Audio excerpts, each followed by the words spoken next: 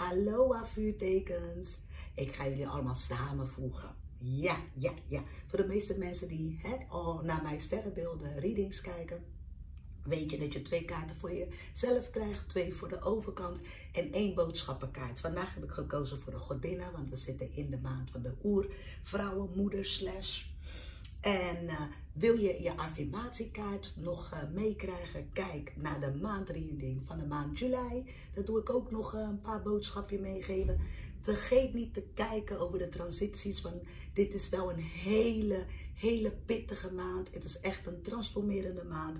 Er hangt veel in de lucht en dat is allemaal om je verder te helpen, om eigenlijk een gelukkiger te worden in dit leven. Door ja, lessen krijg je mee, gebeurtenissen, zodat je ook nog mag leren om los te laten. Yes, ik begin vandaag met de ram natuurlijk. Ram, voor jou heb ik een boodschap. Um, de maand juli, we zitten nu in de mint, uh, midden juli, maar dat is nog steeds belangrijk om mee te krijgen. Uh, juli is eigenlijk een goede maand voor jou. Hè? De eerste twee weken was misschien al zichtbaar. Het blijft nog steeds de laatste twee weken goed voor jou. Venus die staat dus in de leeuw. En dat uh, past best wel redelijk bij de, bij de ram. En dat brengt best wel veel zelfvertrouwen. En ook meer behoefte bij de, om bij de mensen te zijn waar je van houdt. En uh, misschien ook wel romantische ontmoeting, uh, dating of iemand zien of iemand spreekt jou aan. Nou, ga gewoon, uh, ga gewoon op date, ga gewoon checken, stel wel de juiste vragen. Spreek je waarheid vanuit je hart. En gewoon die toenaderingen toelaten of zelf toenadering zoeken. Wees gewoon niet bang. En probeer ook te sporten. Lichamelijke beweging zou best wel goed zijn om dingen voor jou te laten stromen of hardlopen, zwemmen. Dat past wel heel goed bij de rams. Bij de rammen, sorry. Ja? Nou, ik ga even kijken. Wat wil de godin aan jou meegeven voor de helft van de maand die nog over is? Even checken. Eén kaart. Wat is de boodschap waar je nog de laatste twee weken aan mag vasthouden? Kijk. Kunst. Heel mooi, dan doen wij even zo. Kunst, hoe heet ze? Sarah Saravasti. en zet naast je, je hebt genoeg energie. Dit is de maand uh, juli voor jou. Alles wat je vandaag nodig hebt is aanwezig, ook voor de volgende dagen. Breng jezelf tot expressie door kunstzinnige activiteiten te doen. Nou, dan gaan we even checken hoe het zit bij jou. Hoe zit het bij jou? Wat gaan de tarot, gaan de kaarten Meestal is de tarot van de liefde. Hè? Het is zo. Ik gebruik elke maand dezelfde kaarten. Wat willen de kaarten jou vertellen, Ram? Voor jou. Oeh, teleurstelling is geweest. Verdriet. En de volgende, oh. En acht. Oh jee, oh jee. Ga ik even kijken wat de overkant doet. Even zo, hè. Kijken, wat doet de overkant? En dan kan ik misschien een verhaal. Het kan ook zo zijn dat jij hier zo hè, staat, dat jij de gangen bent, dat jij van houdingen verandert. Je weet zelf waar je staat. Oh, kaarten valt. Dat telt niet mee. Even kijken. De romanticus. Nou, het is zo uh, ram, dat denk ik, en signalen. Dat uh, dat gaat steeds beter, dat je het door hebt, hè? want jullie zijn zo sterk intuïtief. Nou, is er een teleurstelling geweest? En daarna moest je je opofferen, schelpen 8. Dat betekent dat je een nieuwe reis moest maken. De teleurstelling betekent niet dat het nu zo is, maar die teleurstelling misschien zit nog in je systeem. Of je hebt een teleurstelling meegemaakt in de liefde. Je dacht dat dat het was of dat het goed zou komen. Maar God heeft je een andere wegen laten zien. Anders naar je situatie laten kijken. En misschien had het mee te maken dat je die teleurstelling en dat je soms ook moet leren dat we zoals ik vaker laatst zei, dat je offers moet doen om echt je ware spirituele partner tegen te komen.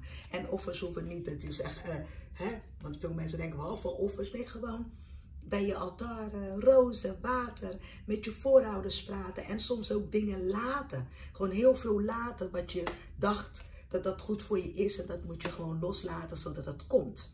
Maar de overkant, die is anders. Die is net zo'n vis, die kijkt anders naar het leven of dat ben jij, die is op zijn kop gaan staan, is, zo'n grap. Maar door op je kop te staan, dan zie je ook andere dingen in het leven. En misschien deze persoon die kan dat voor jou, hè, anders, jou anders laten kijken van hoe het was. En hoe het leuker zou kunnen worden. Want deze persoon voelt ook heel grappig.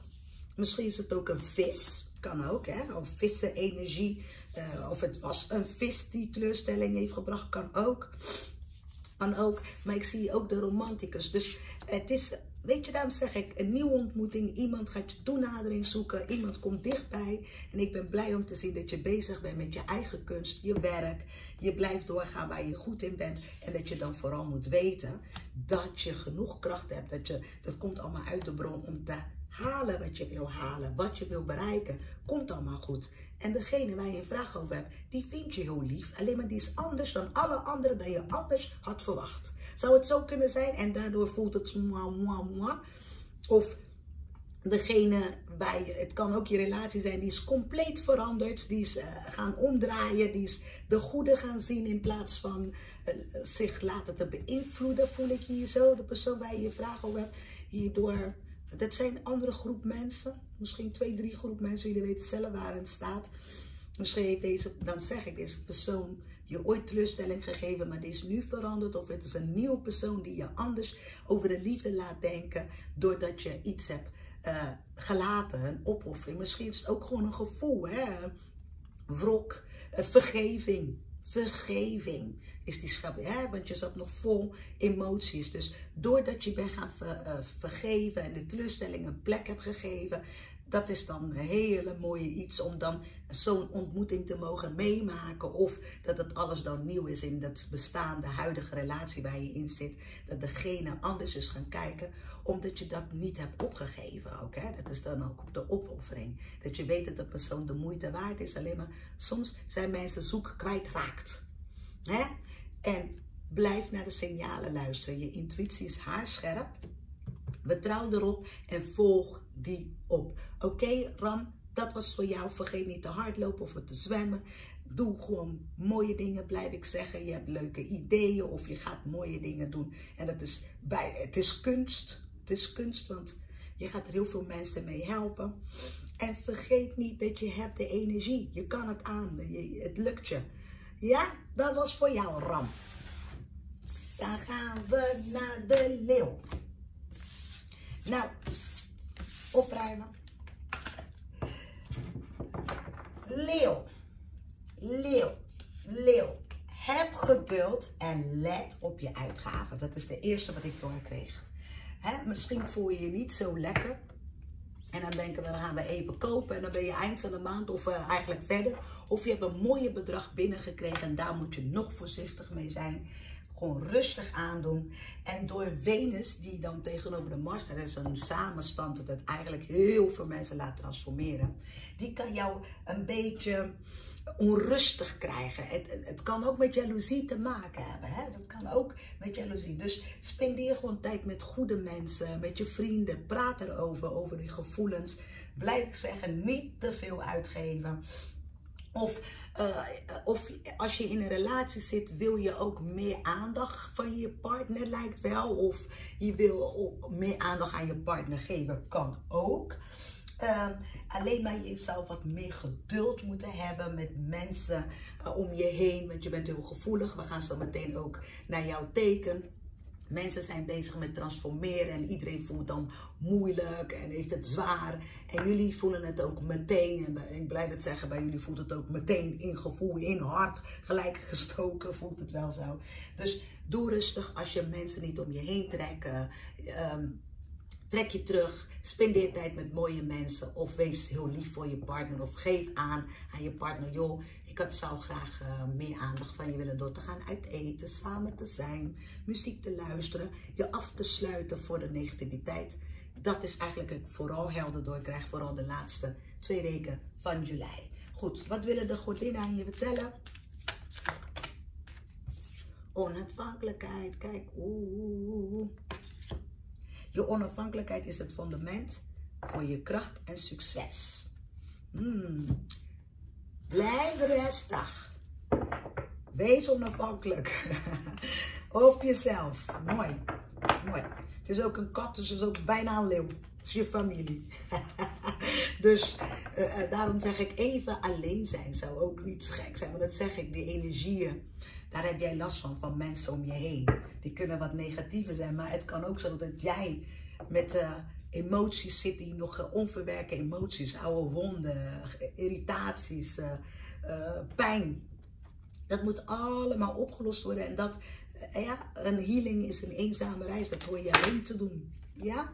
Oh, kijk. Voor jou. Een ander perspectief moet je krijgen. Je hebt een oordeel over iets of over jezelf of hoe het beter zou kunnen gaan. Dat is niet de bedoeling. You need to change. Kijk. Kijk. En dan gaan we even kijken. Degene waar je een vraag over hebt. zijn arcana kaarten, dus dat staat vast, leeuw. Hmm. Zo. En even kijken. De overkant. Goed. Wauw. De overkant wil misschien waarheid van jou. Misschien heeft het een vuurteken. Oh, toren.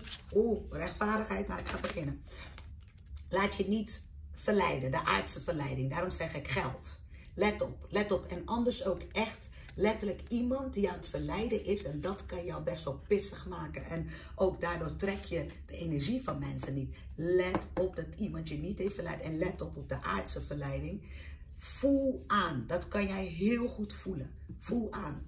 Want een oordeel, als je iets vasthoudt en eigenlijk het verdriet nog niet hebt losgelaten, is een grote kans dat je ook mensen aantrekt nog die onderweg zijn met de healing. Dus ik adviseer je om even alleen te zijn, om voor de healing te gaan, te vergeven, vergeven, vergeven, irritaties neer te leggen. Want dit brengt onrust. Kijk, de kaarten doen zo uit hunzelf. Maar dat heeft te maken, een beter milieu begint bij jezelf. Dat je even anders naar situaties moet gaan kijken. Let it go. Let it go. Niet te veel oordelend en je laten afleiden, verleiden. Want niet alles wat je ziet is waar. Hè? Ook als je wil kopen. Voel aan, heb ik het nodig? Heb ik het nodig? Dan. Maar gewoon omdat je het leuk uitziet en alles erop en eraan en daarna je anders voelen, is aan jou, is aan jou. Ik adviseer je. Het komt alleen maar arcana kaarten uit. Dus die tweesprong is aan de overkant. Maar ik doe hem even zo tussen jou en de overkant. Dus iedereen moet een keuze maken. Je staat op een kruispunt, hè. Dit is een heel hele bijzondere reading. Want een persoon, die heeft het moeilijk, innerlijk. Er is iets gebeurd, misschien daardoor heb je daar een oordeel over. Dan zeg ik, een persoon die heeft het heel moeilijk. Die heeft een innerlijke crisis, die is bezig met zichzelf dingen op te lossen. En die wilt de waarheid, zijn eigen waarheid of haar waarheid. En daar is de persoon mee bezig. Het kan ook zo zijn dat jij het bent, dat je dit hebt meegekregen en daarom sta je hier. En je staat op de kruispunt. Ik zeg, kies voor het licht. Laat oordeel los. Want rechtvaardige is hier. Maar ik weet wel altijd dat een verhaal begint in het donker. Hè? De pijn. De pijn. En van de pijn ga je naar de waarheid en naar het licht. En ik zie dat de overkant daarmee bezig is jij, als ik dan goed heb, jij, jij moet je niet laten afleiden door de emoties. Een leeuw kan al snel gaan brullen. Al snel gaan brullen. En daarom maak ik altijd grapjes. Ga lekker op je troon zitten. Wees even alleen. Trek je terug. Volgens mij moeten leeuwen ook niet te veel mensen om hun heen hebben. Vooral de laatste zes maanden, wanneer iedereen aan het transformeren is. Iedereen is bezig eh, dingen los te laten, anderen te vergeven. En misschien zijn we daar veel te gevoelig voor rond deze periode. Trek je terug. Vergeef wie je moet vergeven. Degene waar je een vraag over hebt, die is bezig met de healing. En die staat op een kruispunt van, zal ik het doen of zal ik het niet doen? Heeft misschien niks met jou te maken. Het heeft met hun eigen waarheid te maken en hun eigen reis. Is het duidelijk, leeuwen? Alsjeblieft. Oké, dan ga ik verder naar de boogschutter. Lekker opblijven. Nou, Boogschutter, boogschutters, boogschutters. Voor jou, ik ook een boodschap. Uh, Saturnus, die staat daar te staan. En door die stand van Saturnus zou jij wat koppiger kunnen zijn. Of dat ene ding niet kunnen loslaten. Of daar, op daar, heeft het met de waarheid te maken? Als jij de waarheid al kent, dan heb je de waarheid. Maar doordrammen, dat zeker willen weten, het doel willen treffen. Dat maakt het een beetje moeilijk voor jou in de maand juli. Trek je terug, je kent de waarheid al. Voel het. Hoe ik het nu zeg. Je know. Je weet. Je know. Zo, Jezus. Ik ga gewoon zo. Want dat, is je energie ook. Je weet het. Maar je wil het niet. Of je wil het ja. Of wil je op die manier. Is hij jouw boogschutter? Is hij jou? Je wil iets vasthouden. Weet je, je wil tradities, hè? jullie houden daarvan, de traditionele waarden. Alles moet traditioneel zijn, netjes, leuk. Uh, ik ga niet zeggen christelijke dingen of, uh, boeddhistische dingen, maar in ieder geval dat traditionele. Dat willen jullie vasthouden, maar de wereld is aan het veranderen. Probeer ook rustig naar je kinderen. Want ik zie ook terug dat boogschuttersmoeders, die willen heel erg de waarden en de normen op hun kinderen zetten. En kinderen kunnen dat best wel vervelend vinden en zich terugtrekken. En die gaan meer op hun kamer zitten of die gaan vaker de deur uit. Wat waar jij in gelooft is voor jou. Bespreek het. kom tot het midden. wees democratisch in, in dat stukje met je kind. Want kinderen zijn onze leraren, hè? niet wij. Wij zijn begeleiders. Wij zijn begeleiders. Dus uh, pas op daarmee, hè, want het, eh, het voelt als te veel bemoeien, zeggen de kinderen. En ik krijg ook door een nieuwe baan, of wil je veranderen van baan, of promotie in je baan, doe het. Uh, want je, wil, je denkt veel aan je financiën, een beetje financiële stress. Maar geloof, geloof in innerlijke rijkdom. Geloof, manifesteer, law of attraction, uh, schrijf brieven op, wishboard, doe wat, ja? Um, en Zoek, uh, zoek lieve mensen op, want uh, zo nu en dan heb jij een bepaalde gemoedstoestand. En dat heeft te maken ook met het weten wat je weet. Maar die gemoedstoestand werkt niet. En dat kan je ook wel eens meenemen naar je werkomgeving of naar je kinderen toe. En daar heb ik het met je erover. Als dingen niet gaan zoals je wilt of niet 1, 2, 3, dan hebben we het over acceptatie. Accepteer dat het nu zo is en dat het beter zal worden. Oké? Kijk, je zit midden in een transformatie. En transformatie is nooit leuk. Je zit nu in een cocoon. Jij moet het ook alleen doen, dus niet opleggen bij de kinderen of bij vrienden of om je heen. Het is jouw reis. Goed? Staat er ook op. Er vindt op dit moment een enorme verandering plaats. Dit, deze zal een grote zegen voor je zijn. Dus timer. Blijf rustig. Hè? Timer, timer, timer. De transformatie heeft tijd nodig of je hebt beslissingen al gemaakt. En dat zie je aankomende tijd. Yes. Oké, nou twee kaarten voor jou. Wat wil de tarot aan jou vertellen? Zie je, ga in de kluisje. Ga naar binnen. Ik heb gisteren nog een hele mooie tekst in Mena's Place geplaatst over introspectie. Dus als je nog geïnteresseerd bent, boodschutter, moet je even naar Mena's Place. Kun je even overlezen. Het was mooi, mooi. En respect voor jezelf. Kijk eens, vuurteken. En dit is de maagd, is de maagd. Oh, boogschutters en de maagden. oh, boogschutters en de maagden. Nou, de overkant. De overkant, waar je een vraag over hebt. Die is, heeft een nieuw begin. En die is deskundig. Die weet wat ze willen. Hmm. Kijk eens, werk aan de onderkant. Werk aan jezelf en werk, iets gaat gebeuren rondom je werkomgeving. Nou, voor jou, kluizenaar, ga naar binnen. Ga naar binnen en steek je lampje aan. Want iedereen kent dat plaatje van een kluizenaar. Die sluit zich af, die kijkt van binnen. En die doet zijn magische licht aan en die komt naar buiten. En die heeft zelfrespect. Daar gaat het om. Zelfrespect, zelfvertrouwen. Het gaat om het zelf. En het is ook de transformatie. Blijf bij jezelf.